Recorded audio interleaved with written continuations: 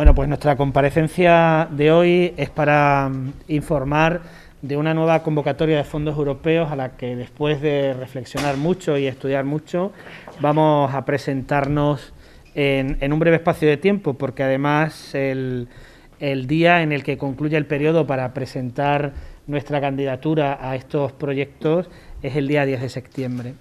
Es verdad que todo el, el previo a esta convocatoria del Ministerio eh, de Industria, Comercio y Turismo, en colaboración con las comunidades autónomas y la Federación de Municipios y Provincias, eh, ha llevado consigo un periodo de contacto en el que todavía estamos con distintas eh, asociaciones y federaciones empresariales y empresarios concretos del sector turístico que, mm, con los que estamos de alguna manera consensuando ese, ese proyecto que vamos a presentar a esta convocatoria.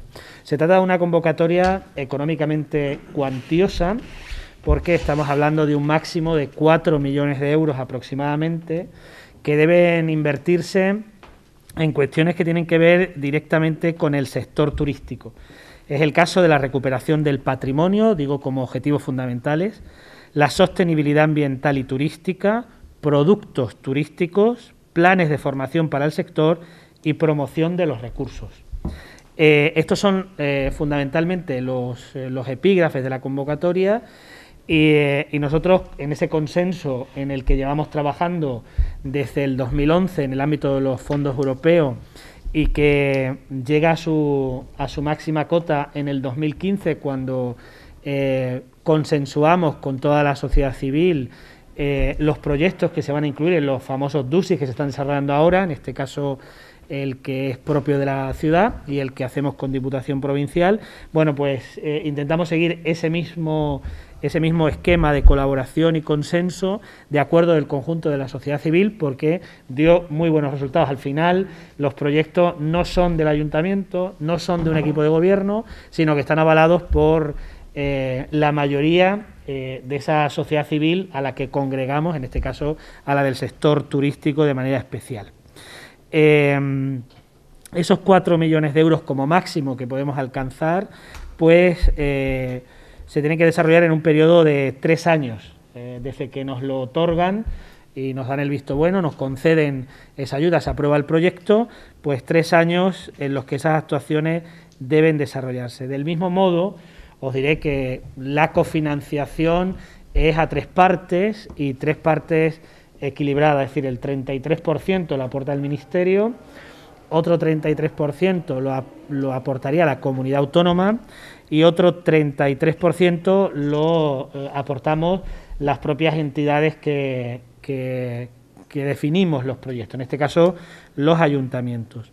Se pueden presentar aquellos ayuntamientos mayores de 20.000 habitantes, eh, y también hay una fórmula como la que nosotros eh, de alguna manera pues fuimos pioneros, que es la de la colaboración con otras administraciones, pero en este caso hasta alcanzar 70.000 habitantes para poder eh, llevar a efecto, si no recuerdo mal, el desarrollo de la convocatoria en ese, con esa fórmula este asunto. Nosotros nos presentaríamos como ciudad mayor de 20.000 habitantes. En Extremadura, como sabéis, somos muy escasos los municipios que superamos esa cantidad. En la provincia de Cáceres solo somos dos, la capital de la provincia y la capital de la Alta Extremadura. Por lo tanto, eh, bueno, creemos que podemos tener, evidentemente, éxito en esta petición. Eh, aunque luego profundizará en determinadas cuestiones el concejal de fondos europeos y la concejala de turismo, os diré que mm, hemos trabajado durante estos años en varias convocatorias que tienen una relación con el turismo muy estrecha. Luego hará un breve resumen el, concejal de, fondos europeos. Pero también es cierto que en ninguna de estas eh, eh, convocatorias a las que nos hemos presentado de muy diferentes maneras, porque una ha sido con Triorbir a través de Riet, otras han sido nosotros solos, otros en fin, eh, distintos modelos para presentarnos a esas convocatorias, nos hemos visto envueltos en una situación, la verdad que eh, mm, yo la definiría un poco de lamentable, porque la Dirección General de Turismo convoca hace unas semanas a distintas instituciones y administraciones con el fin de coordinar este asunto y resulta que a nosotros no nos llaman. Nosotros no estamos eh, citados a esa reunión para coordinar de algún modo esta convocatoria. Nos enteramos posteriormente, lo que sí es cierto es que en esa reunión sí hubo eh, gente de Plasencia que representaba otras cosas, pero el ayuntamiento no fue eh, convocado. Así sí fueron otros ayuntamientos y las diputaciones provinciales. Pero nosotros no. Nosotros hemos tenido conocimiento de la convocatoria posteriormente y por otros medios. Eh, eso evidentemente nos pone en una situación de alerta, ¿no? Eh, parece que el director general de turismo no tiene a bien que nosotros nos presentemos a una convocatoria de estas características, pero estará conmigo la opinión pública en que nosotros no podemos desaprovechar ninguna opción. De hecho, ha sido nuestro principio fundamental en los fondos europeos y por eso hemos tenido éxito. Es verdad que en algunos momentos incluso arriesgando. Eh, os recuerdo que cuando tuvimos el primer DUSI ya presentado, se nos dio la opción de presentar un segundo con Diputación. Nosotros teníamos un escrito de la entonces técnico de fondos europeos, lamentable escrito, donde nos decía que no nos presentáramos.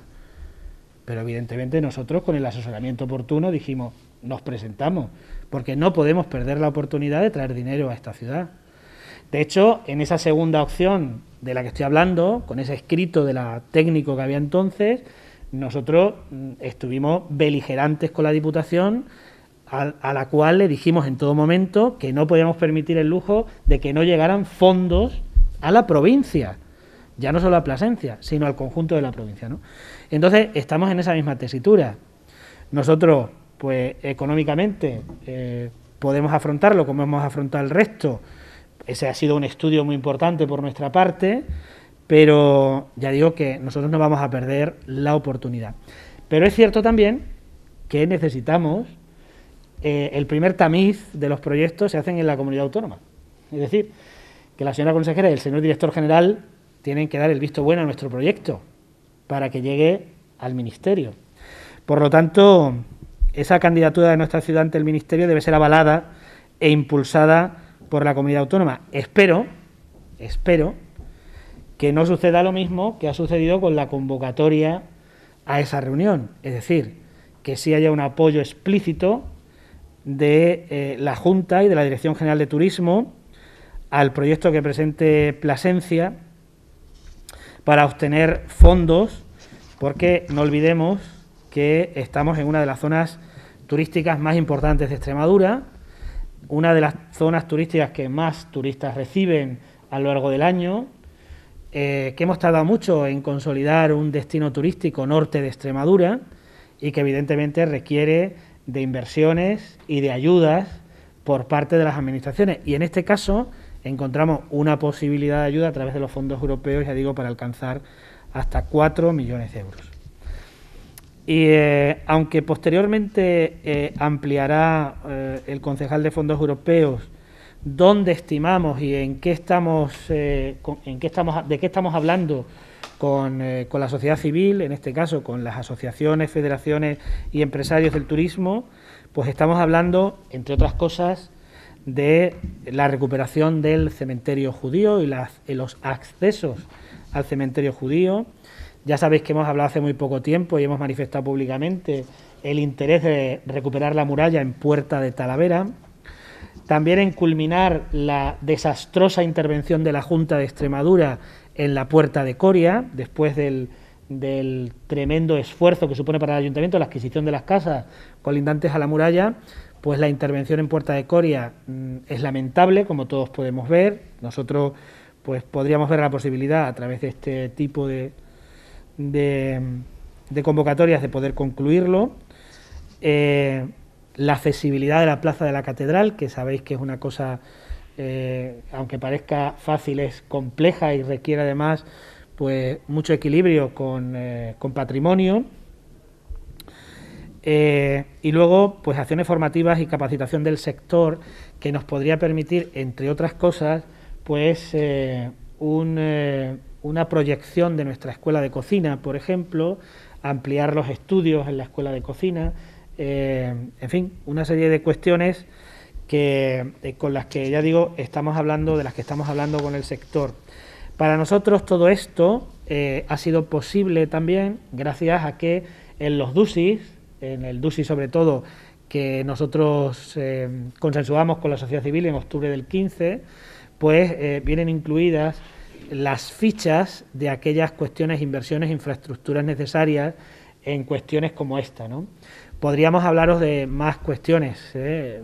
os he hecho, hecho muy brevemente algunas cuestiones, quizás las más, eh, las más eh, de las últimas que hemos estado hablando, de las que hemos estado comentando con vosotros con anterioridad, pero podríamos hablar, por ejemplo, del ábside de la Merced, que es otro espacio a recuperar, o podríamos hablar también de la recuperación y la adquisición inicial del Colegio del Río, una de las ruinas eh, pues eh, más, eh, más destacadas que nosotros tenemos, quedan muy pocos vestigios de lo que fue el colegio de San Sebastián y San Fabián y una de las posibilidades que hemos comentado en muchas ocasiones desde el punto de vista turístico, urbanístico, de infraestructuras es la recuperación de ese espacio y ponerlo al servicio de la ciudad. Como digo, estamos hablando de todas estas opciones, con la sociedad civil al final pues consensuaremos cuáles son las que nos convienen estratégicamente y sobre todo en el ámbito del turismo y, podremos presentarnos, ya digo, con esa fecha eh, de las que quedan 12 días escasos, que es el día 10 de septiembre. Por eso, bueno, pues ya en, en, el culmen del primer periodo de consulta es cuando presentamos ya ante la opinión pública esta nueva convocatoria y sobre todo pues el deseo y la esperanza de que no nos quede huérfanos la Junta de Extremadura, como habitualmente nos deja, ¿no? Y sobre todo en el ámbito turístico, donde no recibimos pues casi ni un euro de ayudas y lo hacemos todo del riñón precisamente del presupuesto de todos los placentinos. Así que nada, si os parece, no sé si tenéis alguna cuestión para mí, si no, sí, tiene la palabra el concejal de Fondos Europeos.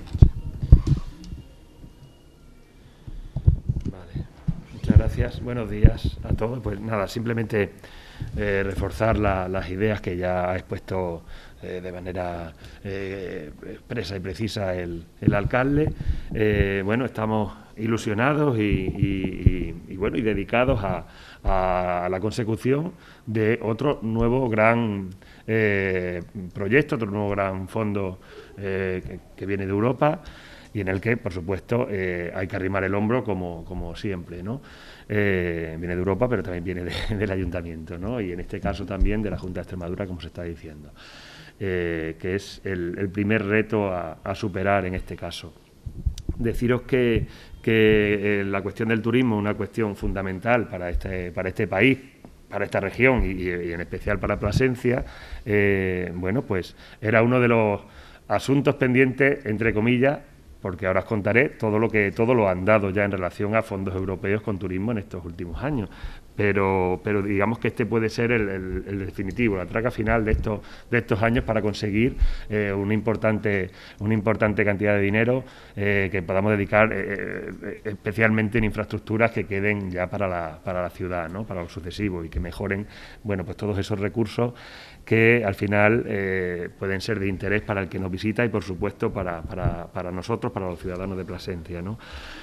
Y en ese sentido decía, ya, ya hemos conseguido en, en, estos años de trabajo, desde que se aprobó la estrategia, eh, desde que se aprobaron la estrategia de participación ciudadana en el, en el 15, hemos conseguido tres fondos específicos eh, que suman en total alrededor de un millón de euros, lo cual no es poco, pero por eso decía que esto sería ya el remate para conseguir eh, ya importantes cantidades. Hemos hablado de hasta cuatro millones de euros que se pueden conseguir en este nuevo, en este nuevo reto, ¿no? nuestra nueva participación.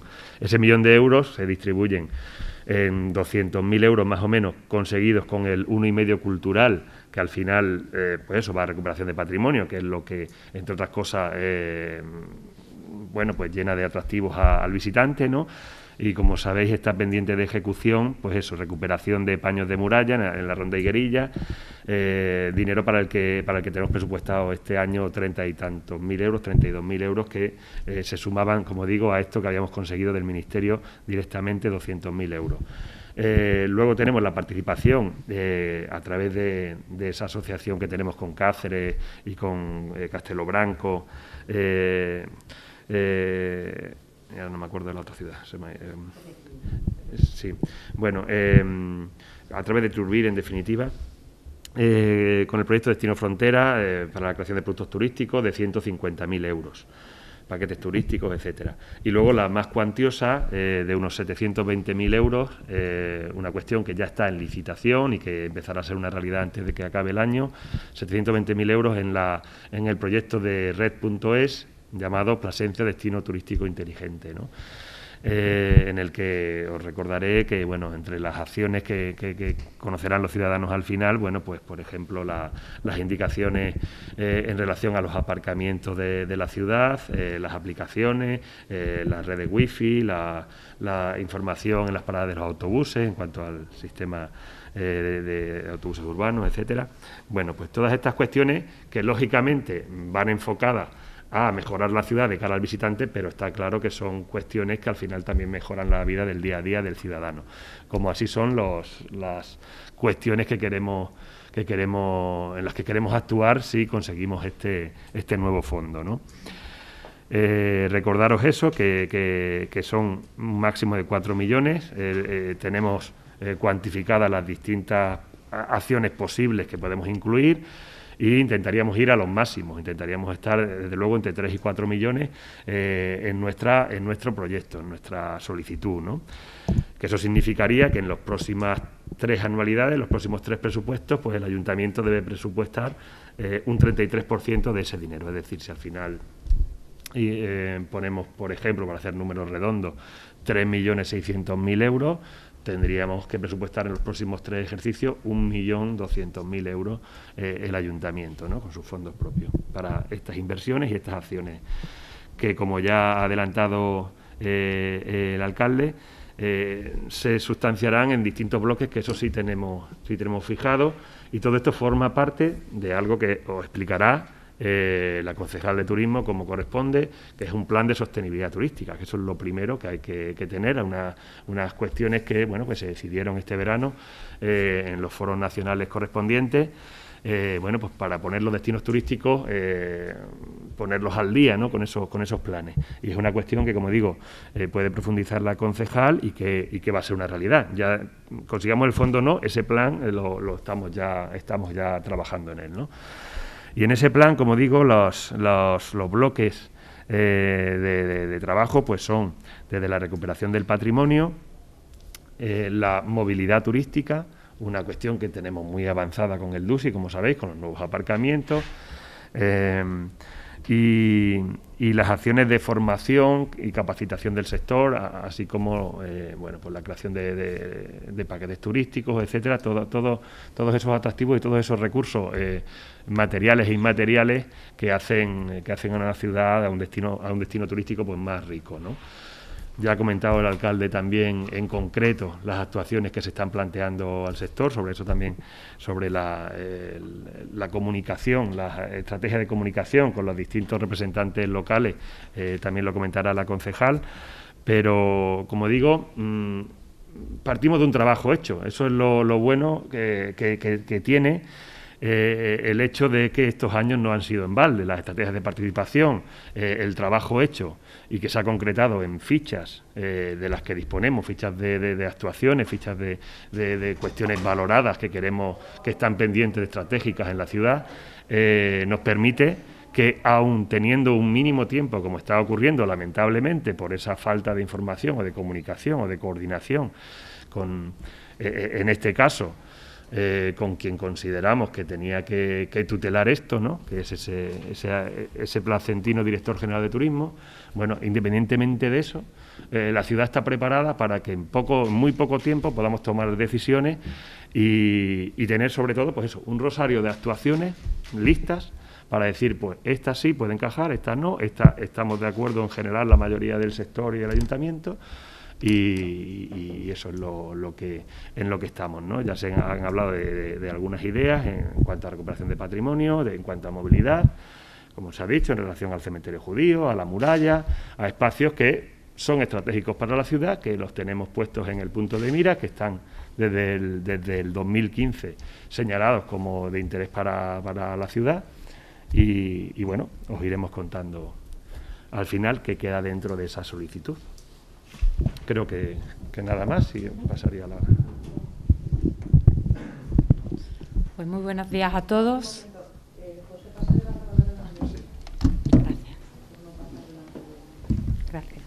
Buenos días a todos.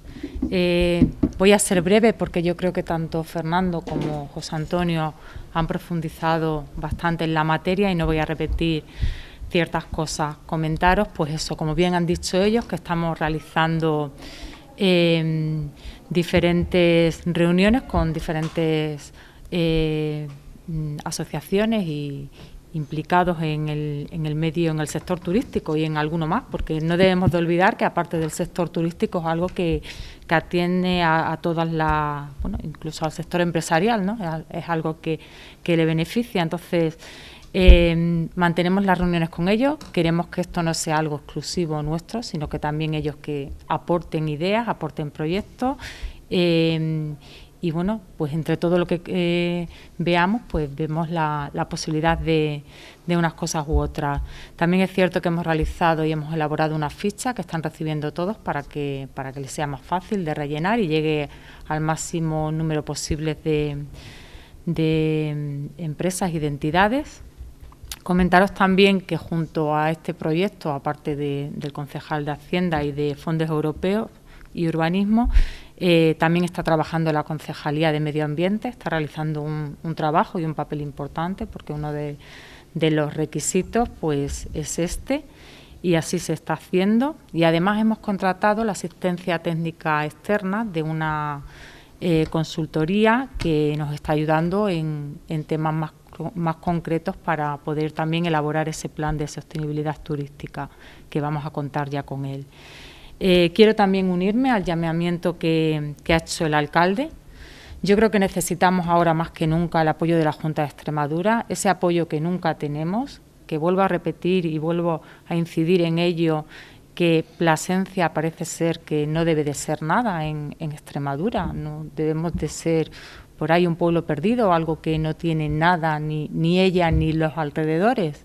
A Plasencia no le llega mucha información, os doy fe, y también os puedo decir que reclamo toda esa información, porque es muy duro que te tengas que enterar de muchas cosas por terceros, pero bueno, yo seguiré insistiendo en ello y seguiré en ello. Sigo diciendo que Plasencia está recibiendo el 0,25% del presupuesto de la Junta de Extremadura, con datos, para turismo, con datos, y que Plasencia sigue sin ser incluida en el Eurovelo, se dijo que Plasencia pertenecía a Eurovelo, seguimos siendo una ciudad excluida de Eurovelo. Hay posibilidad que nos incluyan, pero hoy por hoy Plasencia no, no está incluida en Eurovelo. Yo creo que ahora más que nunca es un momento importante donde vemos que el turismo pues es un motor de la economía del país y en la ciudad evidentemente también. Entonces yo creo que, que debemos de apostar por esto, eh, quiero también agradecer tanto al alcalde como al concejal de Hacienda, que en el momento que, vimos este proyecto, desde el minuto cero, apostaron por ello, eh, apostaron para que este dinero viniera a Plasencia. Sabemos todos que se hará un esfuerzo importante desde, desde el consistorio, pues sabemos la situación que tiene que tenemos ahora mismo, pero no por ello vamos a abandonar este proyecto. O nosotros Em, vamos a apostar por él, vamos a apostar que porque ese proyecto y esto se apruebe, vamos a, apoyar todo, todo lo que venga a Plasencia, bienvenido es, aunque tengamos que hacer esfuerzos. Yo creo que, que esto vendrá fenomenal para las empresas, habrá un movimiento de trabajo para muchas empresas que, que es necesario. Y es necesario ahora, no podemos esperar a más adelante. Entonces, eh, quiero que también sepáis que desde la Dirección General de Turismo se nos invitó a no participar ahora, sino a hacerlo en, otro momento y por nuestra parte eso no va a ser. O sea, nosotros apostamos porque sea ahora eh, porque no podemos desperdiciar ni una sola oportunidad. Y el momento es ahora, no es dentro de cinco meses.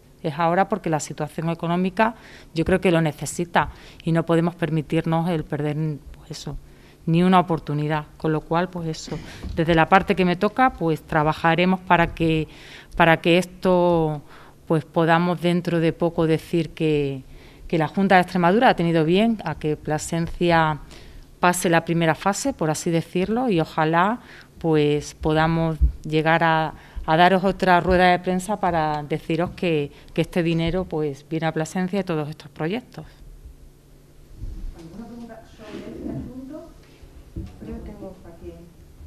Eh, primero, a Belinda. Eh, has dicho que la Dirección General de Turismo ahora ha pedido que no ha invitado a Plasencia a no presentarse a esta convocatoria ahora mismo. Sí. ¿La Dirección General de Turismo, un ente o el director general? El director general de Turismo. ¿A ti, en concreto? Sí, sí, sí. ¿Cuál sí. Ha sido el argumento? Porque mm, como se van a, eh, va a haber más convocatorias, pues, y ahora seguramente que haya muchas ciudades y, muchas y, y, muchas mancomunidades que se presenten, pues que a lo, a lo mejor ahora pues no es el momento. Eh, otra cosa, mm, esto no sé, a quien lo sepa, el, total que puede llegar a Plasencia son 4 millones de euros, pero el total que, quiero decir, el total que, que puede llegar a cualquiera son 4 millones de euros. Es el máximo. ¿Y hay un máximo para Extremadura? ¿O no? Hay un, hay un máximo para, para todo, o sea, para cualquier... Nosotros nos podemos presentar como máximo hasta 4 millones, a lo mejor solamente nos conceden un millón de las propuestas que nosotros hacemos. A Cáceres pueden concederle hasta 4 millones, pero solamente a lo mejor le dan 2 millones de lo que ellos proponen. ¿Montermoso también 4 millones? Montermoso se tendría, no, tiene menos de 20.000. Tiene, estamos hablando de siempre de más de 20.000, claro. Solo las que se pueden presentar. Vale. Lo que no sabemos es el importe, no sé decirte el, el, importe total. Los millones que tendría Extremadura. Claro. Claro, eso viene en la convocatoria. Claro, pero quiero decir que por, por eso en la, en la, primera fase, digamos, es el visto bueno de la Junta, porque tendrá que ajustar los proyectos Efectivamente. a la de Extremadura, que no será infinita. Lo que pasa es que nos da la sensación de que a priori lo que hace con muy poca lealtad eh, quien sea socialista primero. Claro. Porque al final, si, sumas los que se presentan, los que se pueden presentar, mm, ¿qué, nos diferencia con nosotros? La sigla. Yo de todas maneras tengo que deciros que, mira, hablamos del director general, chicos, yo al final, yo, ¿qué queréis que os diga? Un director general, vamos, que, que al final yo, a quien tengo que decírselos a la consejera. Nosotros tenemos pendiente una reunión con la consejera, en breve. Eh, la hemos estado retrasando tiempo a cuenta del COVID. La última vez que he hablado con ella es verdad que ha sido por un hecho puntual, que es San Martín, hecho además con el que, quiero hablar con ella, además con el desastre de la muralla de la Puerta de Coria, con la recuperación de, los tramos de muralla que nosotros hemos quedado libres. Quiero hablar con ella varias cuestiones y una de ellas será también esta. De todas maneras, si esa reunión no será antes del día 10, pues lo que haremos será... Eh, pues mira una llamadita de teléfono, hijo mío, porque es que al final eh, que en la reunión haya gente que no es del ayuntamiento, que está muy bien que haya todo el mundo que quiera, en la reunión hay gente que, no, que ha llamado él. Y a nosotros no nos llama nadie. Y luego nos dicen, no, vosotros esperaros, hombre. Pues tú verás, es que nos va a dar tiempo a definirlo. No, pues si todos hemos tenido el mismo tiempo para definir los proyectos, ¿pero esto qué es? ¿Esto qué es? Oye, que yo me presento y mi proyecto es peor, mira, eh, comprensible. Pero, hombre, decirnos, decirnos esto nos parece una patada en, eh, la espalda al norte de Extremadura, en su conjunto. Así que bueno, pues ya digo que hablaremos con la con la consejera. Es que hablamos, hablamos de Paco Martín como si fuera el presidente del gobierno. Por otra parte, vamos, es que ya es lo último. Que por eso digo. Y si hace falta, pues habla con Vara. Y si le dice, oye, mira, me pasa esto. Pero bueno, hombre, uno siempre intenta seguir los trámites y los cauces adecuados, ¿no? Sin saltarse a la gente. Pero ya visto esto, el ninguneo permanente que sufrimos durante nueve años, anda para allá. Tendremos que hablar con la gente, los, que están por encima y ya está. Eh, y otra cosita. Mm, el total de siete, yo, yo he apuntado siete acciones a desarrollar o que vais a presentar, se entiende que va a presentar Plasencia. No, de entre todas, de entre esas tenemos que elegir entre las 7 que... Claro, porque todas esas suman 10 millones de euros. Claro, claro. Pero no está definido entonces... mm, Lo que queremos es consensuarlo. Para que ¿Cuál no sea una cosa, repito, para que no sea una cosa O nuestra. más. O más, claro. Sí, tenemos más. Hay más cosas. sí, sí. Por ejemplo, eh, otro ejemplo que nos ha dado eh, el alcalde, bueno, pues, eh, y que tenemos encima de la mesa, eh, la ampliación eh, de servicios en- alrededor, vamos a decir así, eh, en- a- alrededor de la escuela de cocina, es decir, Sí. la fábrica de harinas que sigue todavía pendiente de, de una recuperación, parte de parte de ella, ¿no? Que quedó pendiente, como cualquier como cualquier otra otra idea que pueda que pueda volcarse en esto, pero bueno, ha, ha comentado bueno pues las principales y las que son las que tienen pues, quizá más facilidad de acción en los próximos años. ¿no? Das cuenta que en unas dependemos de expropiaciones, Sí. en otras todo lo tenemos incluido el proyecto. Nosotros intentamos también ir y compartir con todos las distintas dificultades que tiene cada una de las cosas. ¿Entiendes? No es lo mismo el cementerio judío, que es todo propiedad municipal, que la fábrica de harinas, que había que expropiar la parte o, o hacerse con la parte que, que todavía no es del ayuntamiento. Entonces, tenemos un montón de proyectos, tenemos los presupuestos que cuesta eh, poder eh, llevar a efecto esa infraestructura, pero además también tenemos las dificultades y facilidades de cada una de ellas. De manera que entre todos digamos, oye, pues a mí me parece que esta infraestructura sí que es importante. El despejar la, la puerta Talavera con todas las dificultades que tiene de expropiación, pues a lo mejor es uno de nuestros objetivos. Me refiero, como ejemplo. Esto se le ha pedido a las asociaciones, que ahora pediría que se me detallara qué asociaciones se ha pedido que voten, digamos. Que No, voten. no, no, no, no se trata de votar, se trata de, de hablar Acuerdo, entre todos y consensuar. Han estado empresarios del turismo, ha estado Altuz presente, que también estuvo curiosamente en la reunión en la que nosotros no estábamos. Altuz planteó su presidente que no nos presentáramos también, evidentemente, lo que le había dicho Paco. Eh, y eh, estuvieron otros, eh, otros empresarios del sector turístico. Vale, Y, y además a mí tengo que decir que me sorprendió mucho. Yo no estaba en esa reunión, estaban los dos compañeros. Esa es una reunión que se ha hecho por videoconferencia. Sí, que y estaba el, el director del Parador. también. Exactamente. Y me, y me sorprendió que días antes en un diario regional, en los diarios regionales, al menos donde yo lo leí, pedía 25 millones de euros de inversión y luego me dice que nos esperemos a pedir cuatro. ¿Cómo se come esto? ¿No? ¿Cómo se come esto? Por lo menos vamos a intentarlo, ¿no? Sí, por- porque hay que dar un matiz por si luego os surge la duda o Claro. eh, habrá habrá una nueva convocatoria según nos tienen dicho y por eso es esas indicaciones. Bueno, pues ya os vais presentando la siguiente. Pero la cuestión es que la siguiente es complementaria a esta. Entonces, lo que no vamos es a perder perder. esa, como se, se está diciendo, e insisto, perder esa oportunidad, aunque sea para aprender. Si al final es que no nos toca porque alguien eh, decide que no nos toca, pues vamos a ir aprendiendo, que de eso sabemos mucho, de que el proceso nunca es fácil. ¿eh? Entonces, mm, eh, si nos presentamos a un examen una vez y lo sacamos, pues mejor que mejor.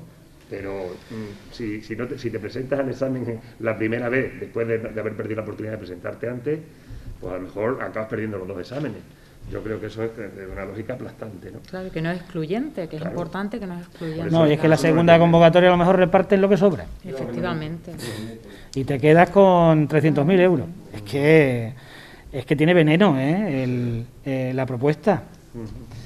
Entonces, nosotros desde luego creo que está justificado que nos presentemos, tenemos trabajo adelantado, estamos haciendo las cosas adecuadamente y lo único que estamos pidiendo es lealtad por parte de la Junta de Extremadura. Lealtad. Lealtad a esta ciudad. La Junta ha autorizado el poblamiento, 4 millones de euros. la buena noticia. Sí, como sabéis, mantuvimos una reunión hace unas semanas con la, con la consejera, en este caso de infraestructuras, con Leire Iglesia. Ella ya nos manifestó en esa reunión cuando le dijimos que era nuestra prioridad, porque era la obra de infraestructura presupuestada hace dos años. Y yo creo que lo que hay que decirle a la Junta, que estamos muy contentos, pero que esto lo teníamos que haber hecho hace dos años.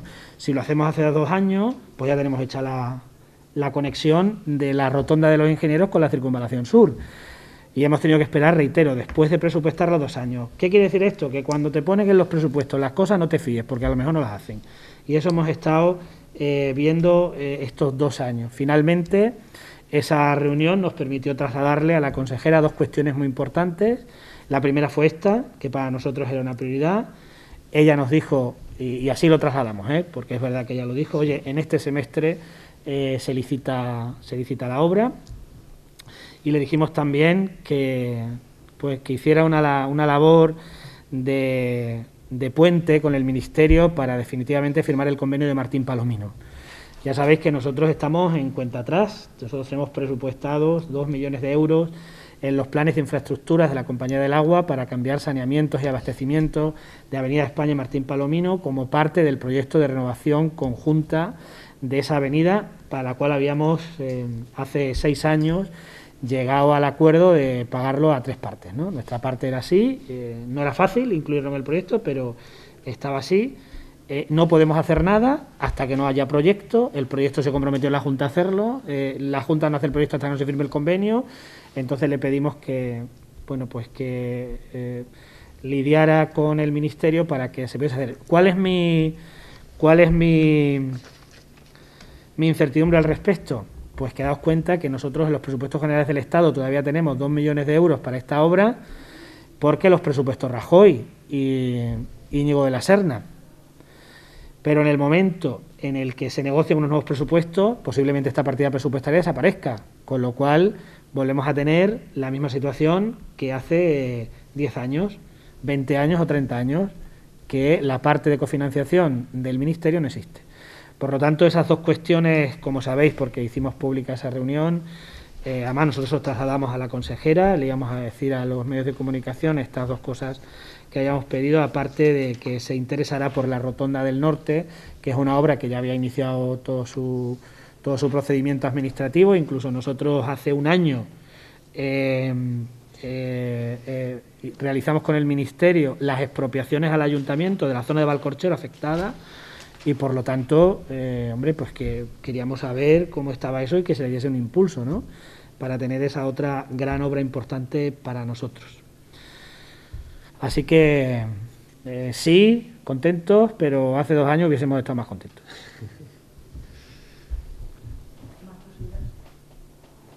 Eh, había solicitado que se cierren los parques y aunque el concejal interior ha dicho para este momento, yo quería saber cuál es la Mirad, nosotros eh, es una de las medidas que tenemos en un plan eh, de medidas a adoptar. Eh, ya sabéis que el escenario que se planteaba difícil era el del otoño. Nosotros el verano, pues la verdad que en Plasencia, en el área de salud, se ha ido bandeando bien, no tenemos grandes dificultades en virtud de la información que publica el SES e eh, diariamente, cada tarde, que, lo sabemos por esas vías. ¿no? Por lo tanto, nosotros tenemos claro que debemos estar preparados para distintos escenarios y uno de los escenarios es la complicación del virus. Si eso sucediera, sobre todo porque nos hemos dado pues septiembre, que sabéis que es un mes eh, complicado, ya todo el mundo está, ya todo el mundo está en, en la ciudad, acaba sus vacaciones, comienza el curso escolar, que sabéis que es otra gran incertidumbre que tenemos todos. Eh, por lo tanto, una de las, eh, de las posibilidades es cerrar los parques. En este momento decir que mm, no suele haber grandes aglomeraciones de manera general. ¿eh? Hay 75 parques, la gente se está repartiendo. De hecho, muchos, muchos padres nos trasladan eh, por las necesidades de algunos de algunos juegos infantiles porque no se van al que habitualmente van que hay más gente sino que se está repartiendo eh, por lo tanto vamos a esperar unos días para tomar esa decisión y, desde luego que estamos preparados para asumirlo pero siempre hombre que también las circunstancias yo también entiendo una cosa muy importante no no hay que esperar a que haya un escenario malo para tomar las decisiones. No no estoy diciendo eso. Estoy diciendo, eh, porque nosotros aplicamos un criterio de prevención fundamentalmente, eh, que ahora en otoño, si vemos que la situación, sobre todo a lo largo del mes de septiembre, ya no solo de salud, sino del uso de esos elementos, se eh, pone en riesgo a la población, pues entonces los, los cerraríamos. Del mismo modo, también pues algunas instalaciones deportivas, que podrían ser fruto del, bueno, pues del encuentro de mucha gente sin los medios adecuados.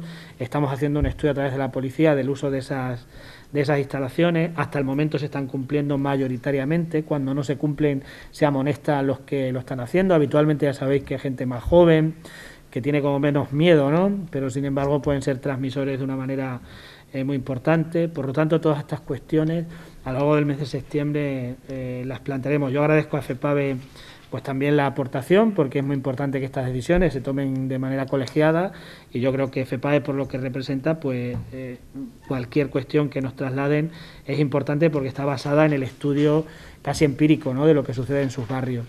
Así que ya digo que, que, no, no desechamos la idea y que es muy posible que la tomemos, pero en el momento adecuado. Eh, lo último, el alcalde confía en que finalmente el ayuntamiento pueda repartir 400.000 euros en ayudas directas a los empresarios. Absolutamente. Así se lo trasladamos a los empresarios hace unos días, es verdad que es un escollo administrativo, pero que vamos a solucionar. Eh, la idea es nos hemos comprometido y desde luego las bases se van a publicar y se repartirá ese dinero. Vamos a intentar hacer bien las cosas, no, a la tremenda, y, poder eh, cumplir nuestra palabra, que desde luego es, eh, es el compromiso que, habíamos adquirido pues casi en marzo, en abril, cuando tuvimos las primeras reuniones. Nunca íbamos, nunca la verdad, intuíamos que esto nos pudiese suceder, porque por esta regla de tres pues no le podíamos dar las ayudas los al deporte, las ayudas a los servicios sociales, las ayudas a los mayores, a los dependientes, a las personas con discapacidad, a, los colectivos de mujer, etcétera, etcétera. ¿no? Es que es inaudito. Y además atenta un poco contra la autonomía municipal. Pero aún así, eh, ya digo, además esto lo hemos hecho siempre con el consenso permanente de Secretaría, eh, lo jurídico, el interventor. El interventor nos dijo, oye, por una cuestión de de procedimiento se consulta Hacienda y nos ha, esta, nos ha puesto esta piedra en el camino, pero ya digo que de una manera o de otra eh, lo superaremos de verdad. ¿De una manera o de otra? De una manera o de otra, porque ya veremos los procedimientos. Nosotros hemos mantenido contactos a finales de julio, en agosto ha sido imposible contactar con, con la gente de Hacienda. Eh, y retomamos el contacto ahora en estos próximos días para solucionarlo definitivamente.